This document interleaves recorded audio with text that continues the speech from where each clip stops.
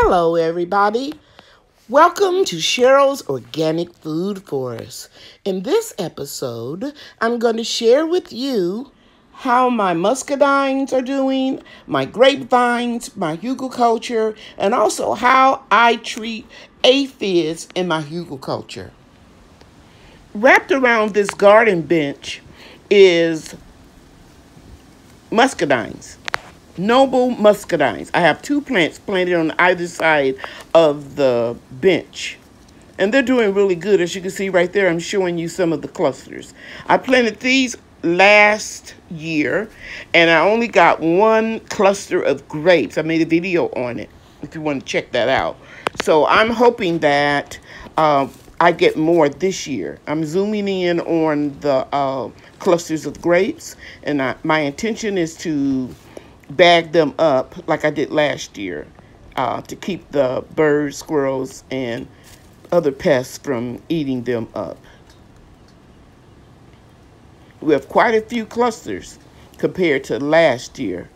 Now I just want to show you my organic sweet potatoes that I'm growing from a one potato that I found that was sprouting in my pantry. And here are my Concord grapes. I have three vines. I planted them all last fall, and I was just really shocked that they're putting on grapes. I wasn't expecting any grapes until next year. So I tied them up, and I'm trying to grow them like a grape vineyard. And as you can see, the leaves are getting really big, and I am going to back this fruit up too. I like how the leaves protect the um, clusters of grapes from pests.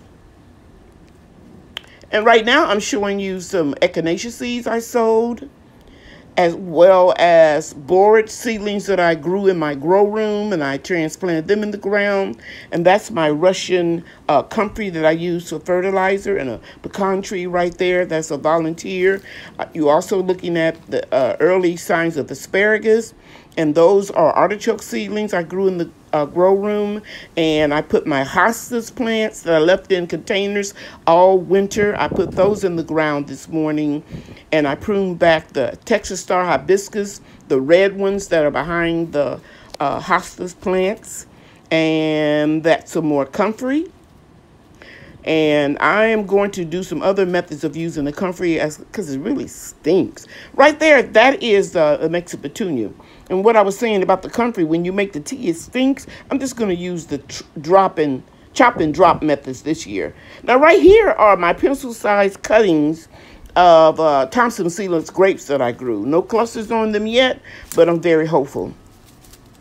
Here are several plants that I bought for 50 cents and a dollar that were on life support at Lowe's. These mums are coming back, but as I examined them a little bit closer, I noticed some ants. And where there are ants, guys, I'm telling you, nine times out of ten, you will see aphids because aphids farm ants. Ants. They like the gooey, sticky uh, liquid that aphids excrete, and they love it because it's yummy. And so I need to take care of that. Now, right, what I just showed you there, those are Jerusalem artichokes. I'm growing them from for the first time. And I also planted some uh, Texas Star white hibiscus seedlings in this hugelkultur. Now this hugelkultur was huge. It was real high. Right there is where how high it was. And all the tree branches, crepe myrtle, um, what have you, have really broken down over the last two years. So I'm really happy about that because I know that they're making some great soil. Okay, so I'm back out here in the Hugo hugelkultur. And as you can see, there's already a ladybug there actually it's several, several mating right there and they're on the case because there are aphids all over here. So the first thing I'm going to do is wet the plants down and I'll be right back. Okay. So I'm washing the plants down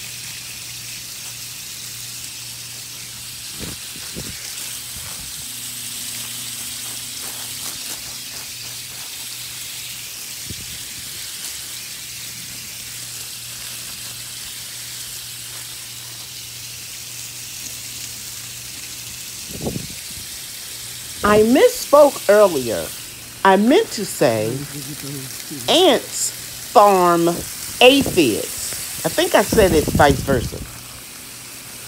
And by the way, those hostas plants that you're looking at, I only paid a dollar for them at Lowe's. They were on life support too.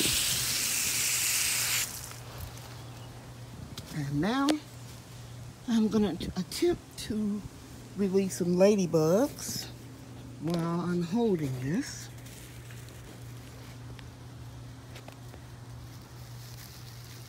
I'm coming out. I want the world to know. Yeah, eat those aphids, ladybugs. I'm coming out. Lots and lots of ladybugs. They were in a refrigerator, so uh, the cool temperatures make them kind of lethargic. But as it warms up, the bugs will flip over and go to work on these aphids. And I'm going to go around here, step over some plants. And I'm, I'm coming out to eat the aphids up. Ladybugs will eat now, the aphids up. I could easily just spray neem oil, but it's getting ready to rain again. We're gonna have a lot of rain for the next week. So, let's just use the eighth. um, I'm trying to say, uh, ladybugs. There's still quite a few in there.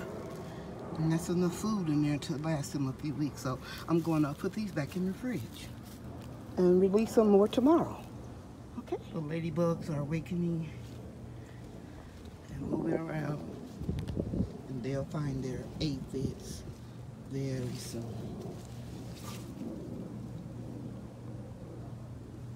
See a lot of them there.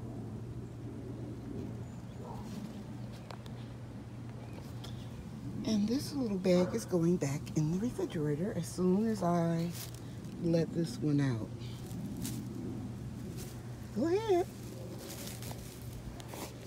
I purchased 4,500 ladybugs on Amazon.com.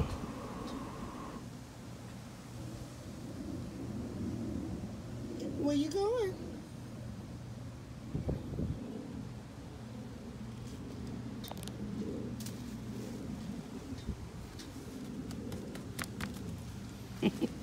As always, I appreciate you watching my video. If you liked this video, please hit the like and subscribe buttons.